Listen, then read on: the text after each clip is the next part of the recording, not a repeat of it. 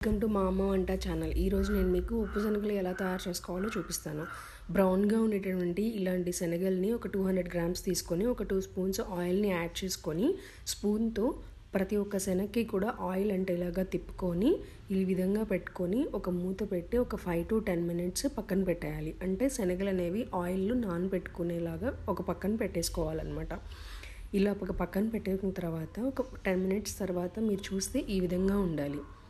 ఈ విధంగా ప్రతి ఒక్క శనగకి కూడా ఆయిల్ అనేది డిప్ అయి ఉండాలి. తర్వాత స్టవ్ వెలిగించి ప్యాన్ పెట్టుకొని ఒక త్రీ కప్స్ ఆఫ్ సాల్ట్ని యాడ్ చేసుకోండి. ప్యాన్ అనేది కొంచెం పలచగా ఉంటే మనకి ఉప్పు శనగలు ఈజీగా రెడీ అయిపోతుంది.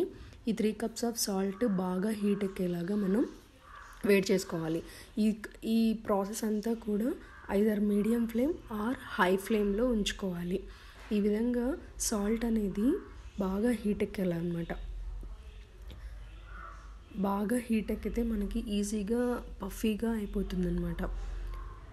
గోరువెచ్చగా ఉండేటటువంటి ఈ సాల్ట్లో మనం శనగలు వేస్తే అవి ఉప్పు శనగలుగా రెడీ అవ్వవు. ఎలా అంటే మనం పట్టుకుంటే బాగా కాలిపోయేలాగా పట్టుకోలేనంత ఇదిగా ఉండేలాగా సాల్ట్ అనేది వేడెక్కిన తర్వాత ఒక టూ స్పూన్స్ ఆయిల్లో సోక్ చేసి పెట్టుకున్న శనగల్ని మనం ఇక్కడ విధంగా స్ప్రింకిల్ చేసుకోవాలన్నమాట.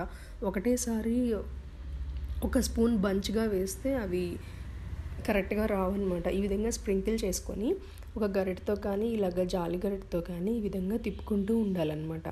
ఈ విధంగా తిప్పుకునేటప్పుడు కూడా మీ మీరు హై ఫ్లేమ్ కానీ లేదా మీడియం ఫ్లేమ్లో కానీ పెట్టేసుకొని మీరు ఈ విధంగా తిప్పుకోవచ్చు. ఈ విధంగా తిప్పుకుంటూ ఉన్నప్పుడు మనకి పాప్కార్న్ ఎలా అయితే మనకి పేలాలు చేసుకుంటాం కదా పాప్కార్న్ సౌండ్ ఎలా వస్తుందో సేమ్ అదే సౌండ్తో వస్తుంది. ఈ విధంగా పఫ్ సౌండ్తో మనకి ఉప్పు శనగలు రెడీ అయిపోతాయి అన్నమాట మీరు ఈ వీడియోలో కనుక చూస్తే మనకి ఇక్కడ అన్నీ కూడా సౌండ్ వచ్చేస్తాయి. చూడండి. ప్రతి ఒక్కటి కూడా సేమ్ అదే వేలో ఉంటుంది. ఈ విధంగా అయిపోయిన తర్వాత మనం తిప్పుకుంటూ ప్రతి ఒక్క శనగ కూడా పఫీగా ఉందా లేదా చూసుకొని మనం వేరే ప్లేట్లోకి సర్వ్ చేసుకోవాలి. ఈ విధంగా ఎక్కువసేపు కనుక మీరు ఫ్రై చేస్తూ ఉంటే బ్లాక్గా అయిపోయే ఛాన్సెస్ కూడా ఉంటాయి. సో అన్ని శనగలు కూడా పఫీ అయిపోయిన తర్వాత వెంటనే మీరు సాల్ట్ని గ్రేట్ చేసుకొని ఇలాగ జాలి గరట ఉంటే ఈ విధంగా సపరేట్ చేసుకొని వేరే ప్లేట్లోకి సర్వ్ చేసుకోండి. మీరు ఎయిట్ ఎయిట్ కంటైనర్లో కూడా వీటిని స్టోర్ చేసుకోవచ్చు. సో డైలీ ఒక స్పూన్ ఆరు రెండు స్పూన్లు ఉప్పు శనగలు తింటే చాలా మంచిది.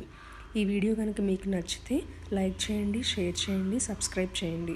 అండ్ మీ ఫ్రెండ్స్ అండ్ రిలేటివ్స్కి కూడా షేర్ చేయండి. Thank you for watching this video.